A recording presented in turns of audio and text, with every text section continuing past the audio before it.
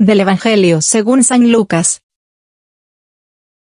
Sucedió que por aquellos días se fue él al monte a orar, y se pasó la noche en la oración de Dios.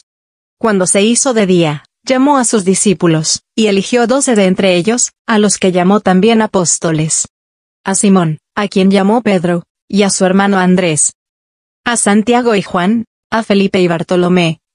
A Mateo y Tomás, a Santiago de Alfeo y Simón, llamados Celotes a Judas de Santiago, y a Judas Iscariote, que llegó a ser un traidor. Bajando con ellos se detuvo en un paraje llano. Había una gran multitud de discípulos suyos y gran muchedumbre del pueblo, de toda Judea, de Jerusalén y de la región costera de Tiro y Sidón, que habían venido para oírle y ser curados de sus enfermedades. Y los que eran molestados por espíritus inmundos quedaban curados. Toda la gente procuraba tocarle, porque salía de él una fuerza que sanaba a todos. Palabra del Señor. Gloria a ti Señor Jesús.